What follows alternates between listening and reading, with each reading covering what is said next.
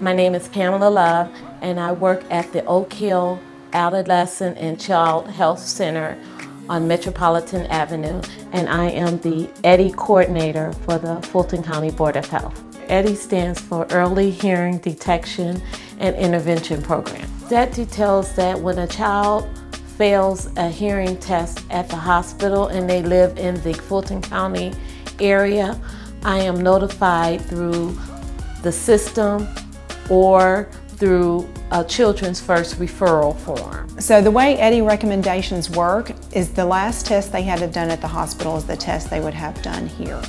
This is an anechoic chamber, it's a sound booth, and it allows me to get sound down very, very quietly, so that down to zero decibels, so that I can tell whether or not you have a hearing loss. Building the sound booth in this facility was very nice for the Fulton County Board of Health because it allows us to see just about anybody for a hearing screen.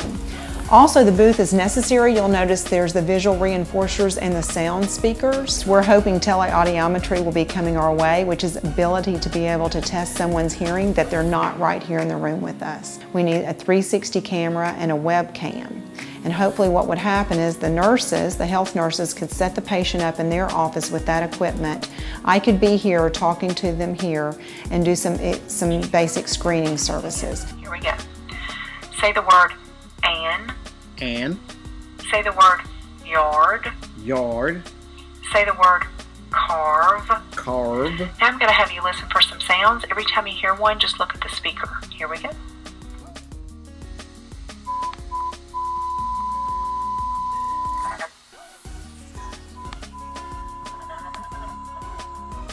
We're um, trying to have more advanced technology with the use of a 360 camera, a laptop, or a smartphone to do a pre-test for children and adults. And if it doesn't meet the standard guidelines for testing, then at that time we can let the parent or the adult know that they need to come into the facility for additional testing.